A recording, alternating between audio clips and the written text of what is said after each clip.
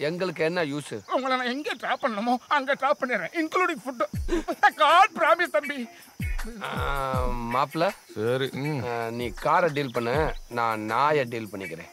ஏய் சார மரியாதையா பேசுற. தம்பி.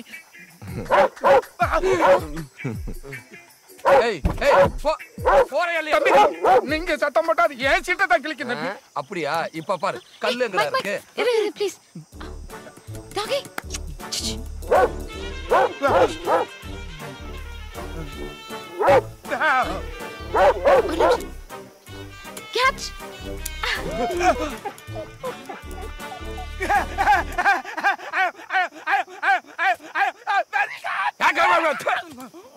ஒரு கோடி ரூபாய் கொடுத்து கார் வாங்குறது முக்கியம் இல்ல.